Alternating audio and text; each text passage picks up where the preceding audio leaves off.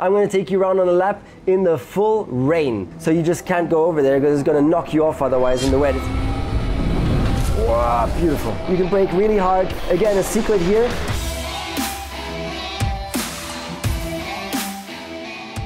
Are you ready? Today I'm super excited because I'm going to take you around one of the top three most exciting Formula One tracks of all time. It's Spa, and here we go. And to make it even more exciting, I'm going to take you around on a lap in the full rain because there's nothing more difficult than in the rain in Spa to get the perfect lap. It's super interesting. Uh, so here we go. I'm going to show you all the special tricks to do a magical lap in the rain. I was on pole position in the rain in 2014, 15, can't remember. So check this out. So first of all, to start the lap, we take a really wide, really wide run here, and then we position ourselves, very important. You can see all the tire marks on the outside, so you offset yourself to there, because on the rubber, that's where in the rain there's the least grip. So you offset yourself to the, to the ideal line where all the rubber marks are. You offset yourself a little bit here and you put the power down, always one gear higher because it's easier to put the traction down than one gear lower because you'll avoid that one upshift in the really early traction limited phase if you're one gear higher. So try and be one gear higher where you can. Okay, so we're powering down, accelerating here. Careful with the puddles, of course. So now, first part of braking, you brake a little bit offset again brake a little bit early than usual at about 100, a little bit offset at first because there's more grip off the, off the tire rubber. And then late into the corner, you can cross over to get the widest possible line in. Little bit late again off the rubber, so a little bit later a in because you got more grip out there. And then in the middle of the corner, you cut across. And again, you're on the inside now, and you put the power down, always staying one car width away from that rubber on the outside. You put the car, you put the power down, boom, boom, boom. Oh, I was in fifth gear. Okay, third gear, put the power down, fourth, fifth, careful on the upshifts here. Now you got to look where's the rubber, where's the where's the rivers. So where's the rivers? Of course, mainly on the on the ideal line is where there's the least water because due to the aerodynamics, the water gets thrown off into the air by the cars in front, or at least the tires will be displacing the water. So that's the best uh, best place to uh, best place to go, as you can see here a little bit. Okay, so here, going into this corner, first of all, you chop over the left curb as much as possible, but really careful over there because you have to lift off the throttle a little bit, otherwise it can just, on the curb where the paint is, that's where the least grip is. So you take the curb because it gives you the best run into the next corner, but really careful, slight lift on the throttle to not have full power down there, even though theoretically you could, but it's super dangerous because on that, on that curb and with the paint, it can just flick you off uh, and no chance. So, and then you stay left, stay left, and then it really depends how much grip there is. Usually you kind of offset yourself with one tire here, the whole car, but with one tire to stay off the grip here, because uh, that's where the best grip is.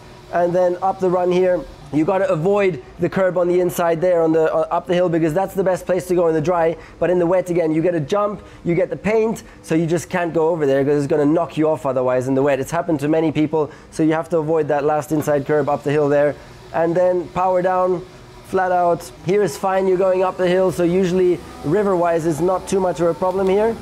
Let's power, uh, power down, you stay left because normally the water flows to the right. So you got to remember where the rivers are. You always have to remember that. And as you can see here, on the track is a little bit cambered, so the water will flow to the inside. So the best place here is to stay on the outside all the way through the, all the, way through the, the, the straight. You arrive here in eighth gear. Again, braking. Now you go brake balance one step rearwards. In general, anyways, on a wet lap, you're rearwards on brake balance. In the dry, you'll be at 60%. So 60% on the front braking, 40% on the rear braking. In the wet, you go a little bit more rearwards because there's less grip, so there's less pitch onto the front when you're braking. There's less momentum onto the front and therefore less load on the front tires in the wet and so less potential on the front in the wet than compared to the dry. So rearwards on the brake balance in the wet, you go around 54 and then in this corner another click rearwards so you're 52 because you have a lot of turn in braking. So again, you remember you lift the front inside, you lock the front. So a little bit rearwards on the brake here, 52 braking off the line again, and then quickly move over before the end of braking. And here,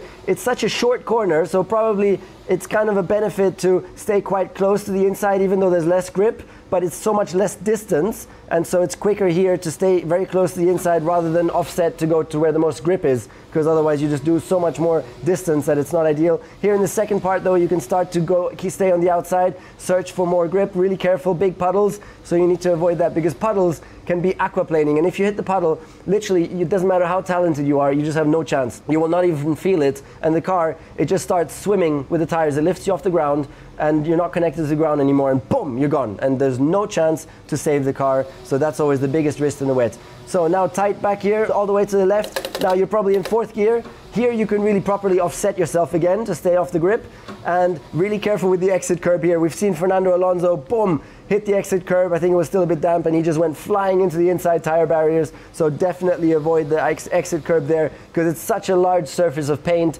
zero grip, and even the white line, super dangerous. So avoid the, avoid the white line as well, super dangerous. So upshifting here, Okay, now now you can probably you have to probably brake because it's a very short braking, so you just brake on the on the dark, and then you run very very deep into the corner, all the way to the mid corner. You just keep it flowing, and you use the track so you can go quite wide into the uh, down here. And again, it's so there used to be no runoff at all here. It used to be uh, sand directly. Now they've put some tarmac, which makes it a bit easier because it's a bit more forgiving. You can make a little bit of a mistake in braking, but it used to be just a sand trap. And so look where, look how close you are here for the ideal line to the edge of the track. And you've just come from a huge braking and long entry. And if you just messed up tiny, tiny bit and you ran one and a half meters wider, you were on the, si- on the sand. And most of the time when you were on the sand, you were also in the tire barrier. So it's like there was zero, zero room for, for error, which is a very, very scary corner. Also because it's downhill. So when you're going downhill, the braking potential is less because it's harder to stop something going downhill. Uh, so also even that makes it even more complicated. So it's a very, very tough off the corner, third gear here. Um, and again here on the exit, you chop to the inside to get the grip here when you're putting the power down um, and stay off, the, off all, the, all the rubber there. And then this corner, early upshift again here because you're steering at the same time. So you want to avoid as many upshifts as possible in traction limited phase in the early phase. So wherever you can upshift a little bit earlier into the higher gear, as long as the revs are, too not, uh, are not too low, it just help you because every upshift is such a disturbance to the rear tires. It always causes a snap because it's never the perfect transition. It's always going to give you either more RPM afterward, I mean, more torque afterwards, or less torque, and then it's always a bit of a, a bit of a harsh transition. It just does a a little chop, and it always gives you a snap. So you have to avoid those upshifts. Um, this corner is super difficult. Uh, so again, you can see the puddles here on the outside, but nevertheless, that's where most grip is. So you have to stay a little bit wide here, at least with two tires, searching for the more grip. And now, uh, again, avoid that curb on the outside there. That's going to flick you into the barriers on the inside. So you could, you have to avoid that totally. Now here you can put the power down. Jesus, the whole pedal box just moved away from me. Someone forget to forgot to tighten that up. That actually helped happened to me in the real car as well. That the brake suddenly just flopped down. Um, that was not a good feeling. So. Um, that's what's happening here in the simulator today. Okay, now we're going into some of the fastest corners here in Spa. Super crazy. So here you arrive with seventh gear, downshift into sixth, maybe even fifth. And again, just keep two tires on the outside there, off that, off that grip on the inside.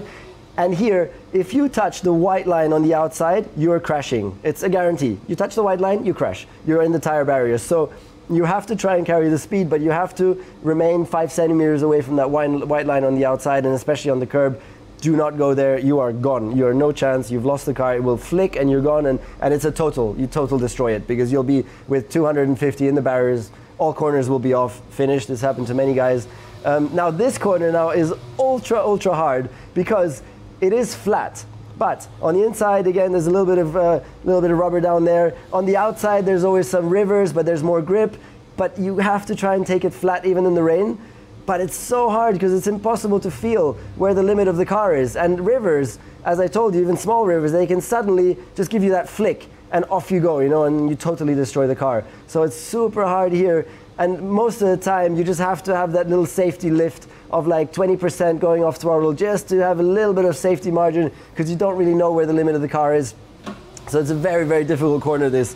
Um, it's the most difficult corners in the, in the rain where they're almost flat but not quite to really to be committed there and to have the confidence makes a huge difference. And that, for example, is one of Lewis Hamilton's strengths to have that instinctive feel for the limit of the car in such situations where the car isn't moving in any sense. You know, it just has the grip or suddenly flick, boom, all the grip is gone. And to instinctively feel where the potential limit is there was one of the great strengths from Lewis Hamilton in the in the wet, and, and that's what uh, gives him a, a, this, this, advantage very often in the wet. And um, so now here again, you can brake on the outside because it's short braking.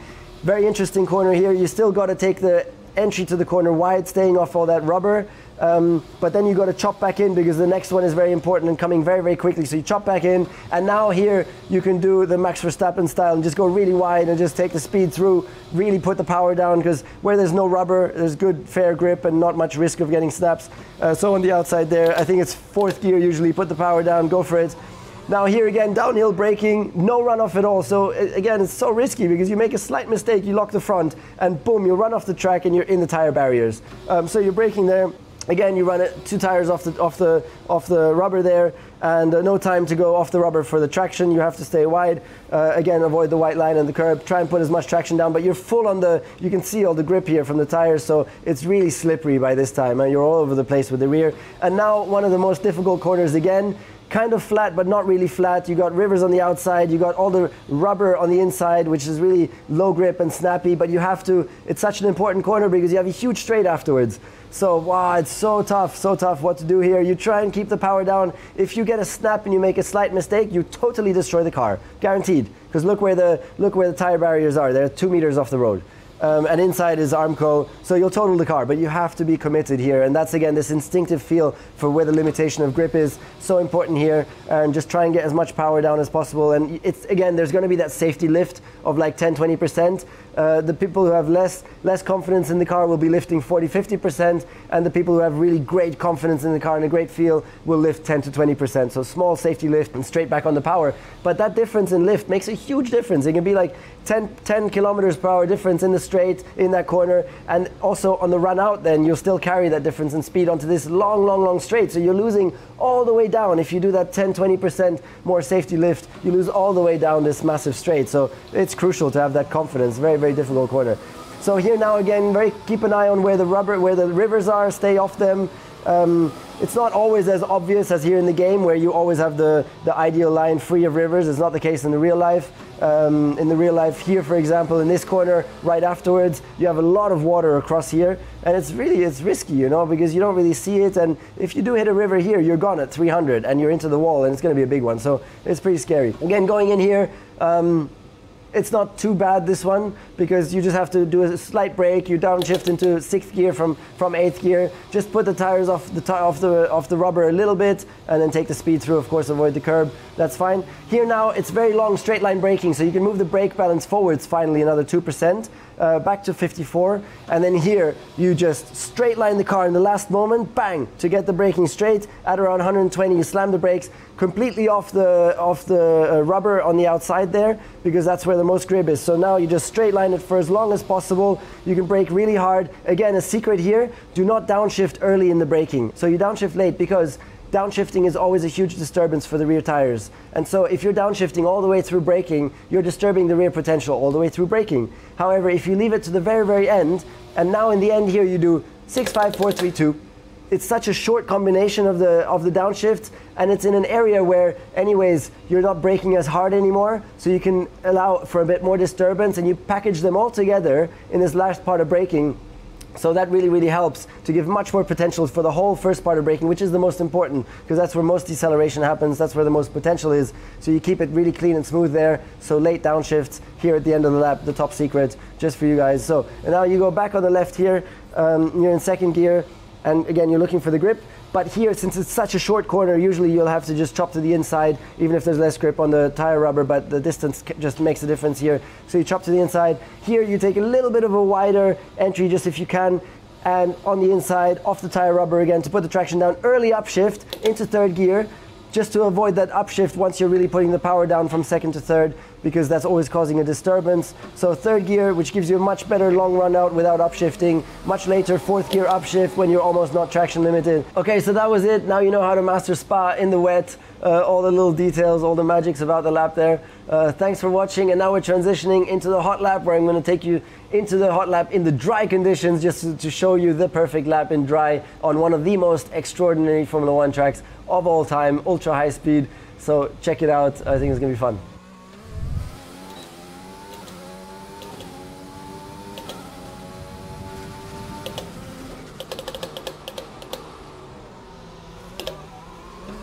Wow, epic. Epic.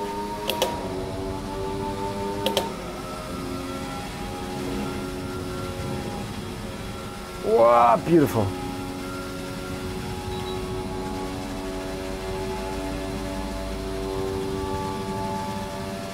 So hard.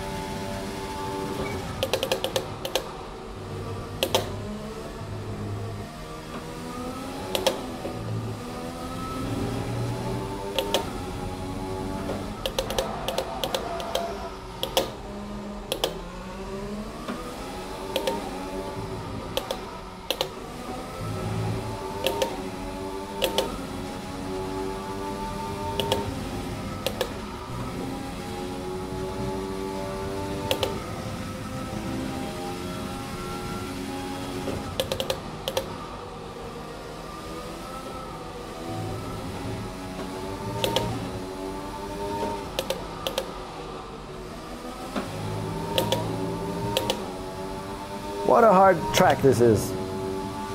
Man, this is hard.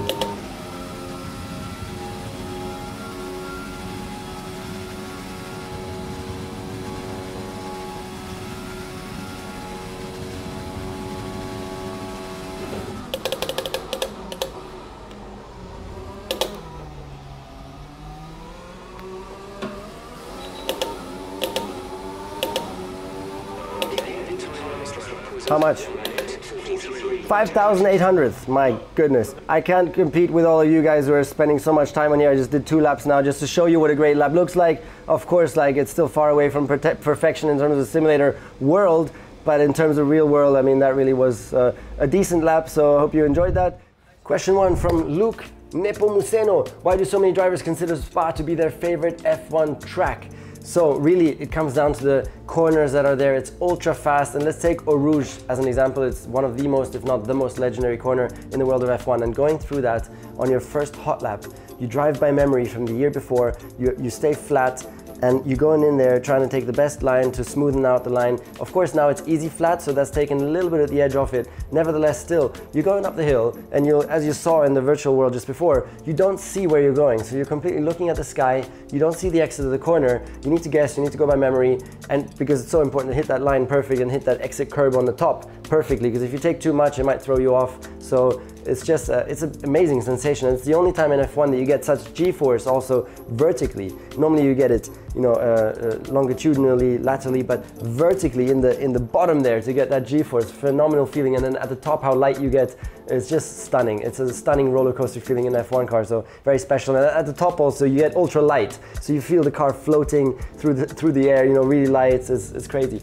So question two, the Kovic. Because of Spa's topography, the track can be wet and dry simultaneously. How do drivers cope with this, and how can you leverage it's very difficult in mixed conditions. Again, you need to go by memory, so you need to remember from the lap before, where was the dry sections, where was the wet sections, what do you need to do to get the most of it. Typically at the top of the lap it will be raining and wet, so there you need to remember uh, the ideal lines, you need to remember where the rivers are, where the puddles are to get that right. And then in the lower part of the lap where it might be drying, like for example in I think it's called Pouhon and the double left-hander there. That's usually an area where it's drying very quick. Also because the cars are going through there fast with downforce, so they're forcing the track to dry because of more energy from the tires. Um, there you then need to remember lap after lap where exactly are the patches where it's drying. And you need to remember them because that's where you need to hit those patches to get the best grip. And then you need to remember also where does the dry track stop? Where does it get wet again on the exit? Because that's where you need to be more careful. So it's all my memory, um, and every lap you're finding a new limit. So it's it's a huge challenge, as you just uh, as you just heard. Huh? To it's a huge challenge to get the most out of it in a drying situation. So question three, Tim the King 98. Spa has the highest elevation change out of any other Formula One circuit. This results in a lot more vertical compression compared to the usual circuits. How difficult is it to cope with the G-forces that are different at Spa? Well, as I said, it's really just in uh, it's really just in the Eau Rouge that you get this vertical G, and it's not a problem for the for us drivers. It's fine. It's not that extreme. So it's just a wonderful and, and crazy experience. You know, the G-forces through Eau Rouge is, phenomenal. Question four, Callum Harps. To which extent does a slightly negative camber improve traction when cornering? As the corner exits prior to the long straights, as Spa are so important, so should the ca camber be adjusted? Um, so camber is the rear tire angle that you set them up at. And why do you set them up at like that? Because when you have G-forces, you're putting so much load on the tire that the bottom of the tire deforms and it gets pushed across. And so you, when you start like that, the bottom gets pushed across and so eventually when you're in the perfect high load condition, you actually have a flat tire on the ground. So that's why you need to start with angle in the beginning. So this is the outer tire. In a normal state in the garage, the tire will be like that on the rear. And then when you put force on it, the tire will deform at the bottom and it will actually be flat then at the bottom. So you have the maximum amount of tire in the corner on the tarmac, which gives you the best potential grip. So that's a very difficult thing to set up properly because it's always a huge compromise. You need much more angle for the high speed corners because there's much more deformation, much more load, much faster, and much less angle in the slow speed corners where in traction, you're almost always straight line already. You have very little lateral load. So for traction, you almost need a vertically uh, upright uh, tire in the rear. And there's a big, big compromise there um, because if you have vertical upright and you go into fast corner, it will deform to the inside and you're just losing more and more grip as you're losing, as you're losing contact patch. Um, so that's one of the challenges of doing setup. And in Spa, usually it's quite a high speed track, so you have more angle than usually in other, in other tracks. Question five, lol lol. I tend to lose the rears in the corner after the Kemmel straight in the sim. Is that in true life as well? How much do drivers struggle with rear grip due to low downforce setup. So lose the rear after the Kemmel straight. Yes, that's always going to happen, particularly because the longer your sequence of corners is, the more overheating you're going to get on the rear tires because the tires cool down on straights. And when it's corner, corner, corner, corner, no straight, it just gets hotter, hotter, hotter, hotter. The hotter it goes, the more snappy the rear becomes, the less grip you have on the rear. And so the best example for that is exactly where you're saying at the end of the Kemmel Straight. Uh, after Eau Rouge, at the end, there's a huge sequence of corners. One, two, three, four, five corners after another. And it's particularly the fifth corner um, down the hill there, the last one, the left-hander, which is the most difficult. And you're always gonna have big oversteer in there, uh, big understeer mid-corner. So there's so much happening because the tires are really overheating and, and all over the place. Um, so it's understandable so all you can do really is just be a bit more cautious uh, in that phase and go a little bit less far to the limit just to keep it a bit more steady. That's what you have to do, particularly in that corner. Question six, Dan Butler, how often do engineers communicate with their drivers during a lap?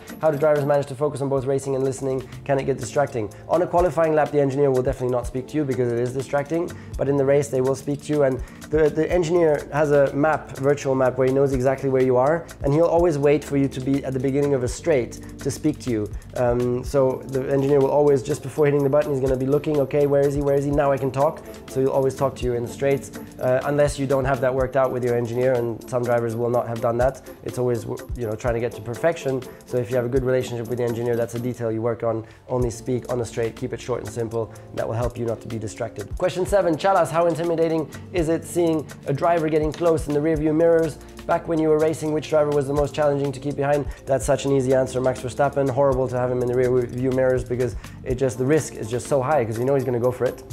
he's just going to give it a go. And then it's up to you to decide crash, open up, or, or defend, or what's going on.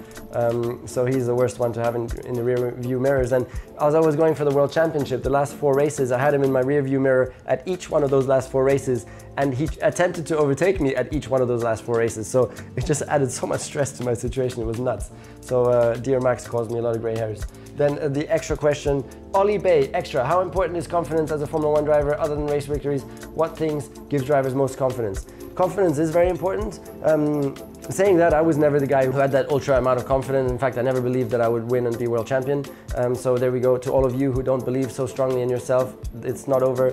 You can win great things even without the massive self-belief. And sometimes doubting yourself is actually a strength also because it makes you question yourself more. And you, if you have this really big self-confidence, you'll tend to blame others for anything that goes wrong. But if you doubt yourself, you more blame yourself in first. And it's, it's a good way of kind of improving yourself, pushing yourself, keeping motivated. So there's a flip side. And, and if you can harness that to your own benefit, then actually doubting yourself can be a huge strength. And we've seen the greats. I mean, the greats always speak about doubt. Um, and uh, historically, you know, the greats in sport, you always think, wow, really, they were doubting themselves like that? I thought they were machines. No, they're also human beings and, and have big doubts and fears of losing. And, and it's just a matter of using that to your advantage and, and kind of benefiting from that. So that's a challenge in itself. Okay, that's it. Thanks again for watching. And remember, top comment gets a surprise gift from me. The question this week is, what is your favorite F1 track in the world and why? So thanks a lot for watching. Please subscribe to the channel to not miss out these F1 Fridays videos. Next one coming up next Friday, of course, for Monza. So thanks a lot. Bye-bye.